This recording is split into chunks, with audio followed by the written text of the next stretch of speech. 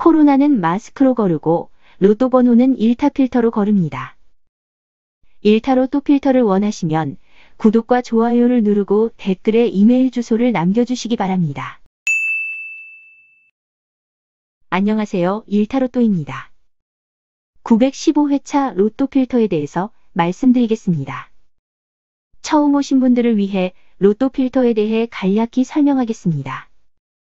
우선 필터의 사전적 의미를 보면 액체나 기체 속의 이물질을 걸러내는 장치라고 되어 있습니다. 로또에서의 필터란 당첨이 안 될 것 같은 조합을 걸러내는 것이라고 보면 되겠습니다.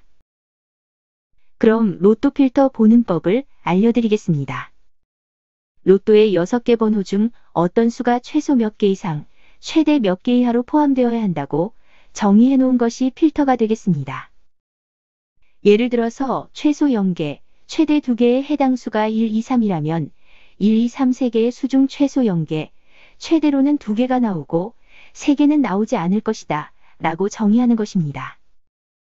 이렇게 만들어진 필터는 로또 필터 프로그램으로 필터링을 하거나 각자가 정한 번호로 6개씩 조합을 만들 때 필터에 정의한 최소 최대 값을 적용해서 만들면 되겠습니다.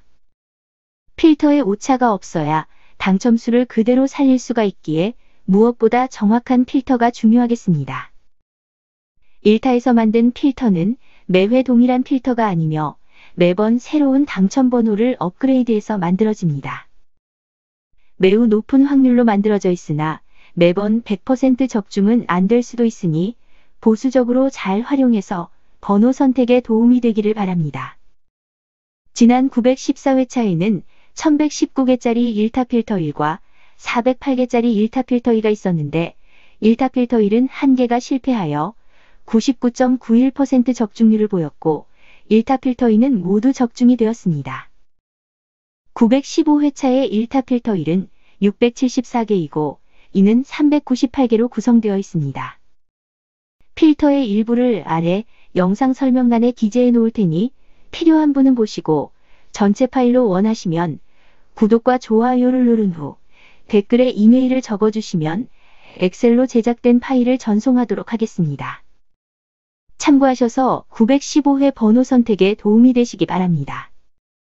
일타로 또는 구독자 여러분의 당첨을 위해서 항상 노력하겠습니다.